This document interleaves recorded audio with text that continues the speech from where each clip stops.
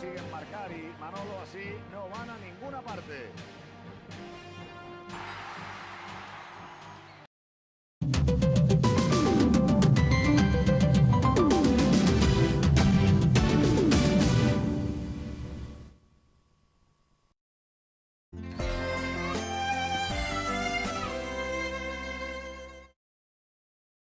Once again,